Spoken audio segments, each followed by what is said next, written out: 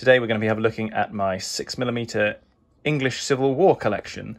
These are all Baccus uh, miniatures, uh, every single one, no exceptions, um, apart from the bases, which obviously I customised from elsewhere. I in fact even got the flags from Baccus as well, uh, and then applied those to the various regiments. Now, this collection is intended to roughly represent the Edgehill order of battle. I don't know why I said roughly, because actually I have aligned it to that. Uh, and the intended rule set would be my preferred Carnage and Glory 2, um, for which uh, I have fudged the base sizing a little bit in order to get them to fit in and also to represent the miniatures in a way I would like, pleasingly on the base. Uh, it's it's sort of that multi-dimensional sort of concessionary agreement you have to make with yourself sometimes between what the frontage requirements are, what they convert to in terms of millimeters for bases, how many figures you can fit on each base, and how they look. And I wanted nice sort of chunky diorama stylish bases um, and also to get a decent number of figures on and not be faffing with too many smaller bases on this occasion. So I've traded in for pike blocks with their, their wings or sleeves of musketeers in each case for the infantry, with cavalry to follow later. Uh, in terms of how I've organised painting them to begin with, I've tried doing them brigade by brigade to begin with, so we'll just run along the line and have a look at those. Uh, so first up on this side, this is, well, I should say first of all that each of the regiments is denoted. I've written on the underside uh, which pike block corresponds to which. Uh, so as it says there, that is Sir Charles Gerard's uh, regiment and his block of pike in the centre, uh, and the three regiments that make up his command, which are Dyve's and Dutton's regiments behind, with Gerard in front.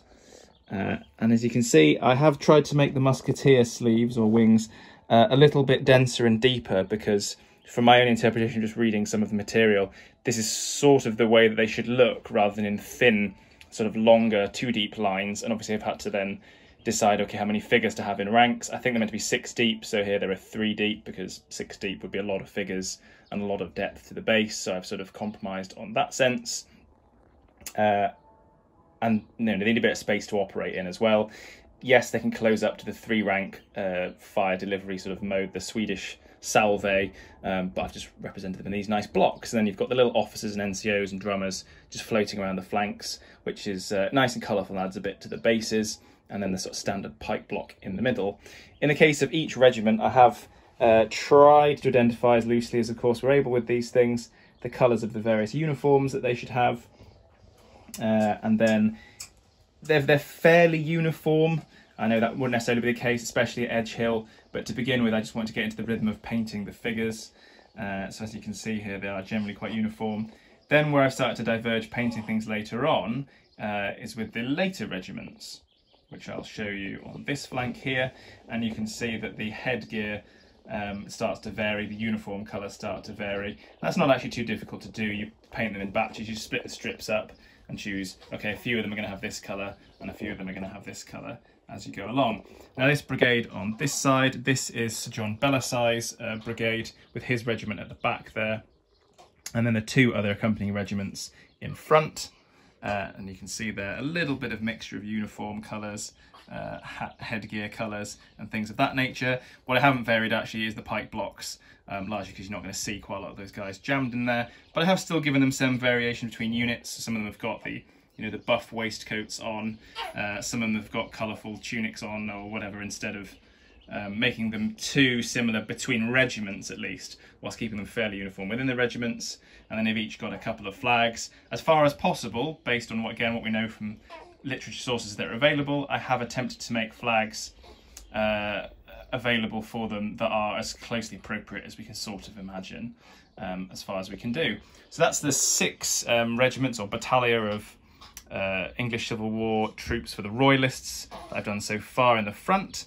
Uh, and then as we progress onto the back there, we can see that is my uh, go at the King's Lifeguard Regiment of Foot. Potentially a bit bigger at Edgehill, but as you'll notice with all of them, I've gone for uniform numbers of figures and base sizes just to make it easier. They nominally, in my head, roughly represent about five, six hundred men each, which is probably about right for battalion at different stages of the war. I know they could be smaller than that as well, but um, it gives me some variation in the ground without losing too much sleep. Uh, next to them, there's a little base of commanded shot there, um, some of which were potentially present at Edgehill as well, and I just thought I'll try out some of the uh, firing uh, figures for those. A little zoom in there. and see how that works out. And those look kind of nice. Um, and I'll do a couple of bases of those for the order of battle for both sides. Uh, and then at the back here, we've got uh, two regiments of dismounted dragoons, so red dragoons and blue dragoons with the reds on the left uh, and the blues on the right, although there are a couple of reds in the blue one as well.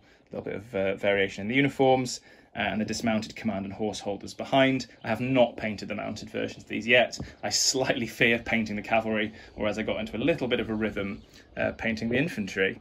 and that's it so far. Uh, as you say, it's been a bit of an experiment as I've gone along in terms of how to paint them. Once you get into the swing of it, you can actually paint these very quickly. Um, I paint up a whole uh, regiment or battalion at once, so I'll lay out all the musketeers, paint them all to completion, then lay out all the uh, pikemen command figures, paint them to completion, uh, and then and then base it essentially. Although I have been waiting to complete a whole brigade at a time before basing because it's a little bit faffy, but I've very much enjoyed doing it. There's something very pleasing about having them all ranked up uh, en masse like this as well on the table uh, ready to go as a collection and all the flags in place and so on. It's very pleasing to look at. Um, of the collections, bits and pieces I've got out at the moment, my wife's pointed at this one and gone, I like that one in particular because it's got that sort of vignette diorama feel to it uh, and nice sort of sense of bulk and uniformity. Uh, but yeah, that's it. The aim is to try and gradually generate the entire Edgehill Order of Battle, clearly with a, a royalist preeminence at the moment, because that's what I've started with. So they've got you know seven units of infantry going on here, a couple of units of dragoons. I haven't done any command figures or artillery yet.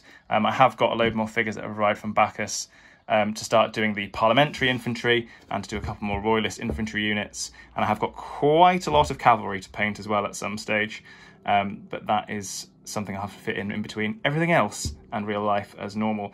Um, you might be able to hear in the background my daughter gurgling away, who uh, consumes quite rightly uh, the, the grand bulk of my time.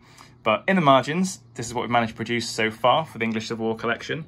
Um, I hope it's uh, useful to have a look at and of some inspiration. Should give you a nice sense of Baccus figures as well, especially seeing them sort of ranked and massed up like this together. Uh, and in terms of actually, one thing that I know I'll get asked, the depths of the bases and the sizes of the bases. Let's just pop a little ruler out here so you can have a look at them. So the uh, the sleeves, the, the shot, they're 50 mil uh, wide. And then in the center, the pike blocks are 40 millimeters wide. And in terms of the depth, let me just find a convenient thing to measure. That's 40 millimeter wide. So uh, 50 by 40 for the musketeers, 40 by 40 for the pikemen in the middle there.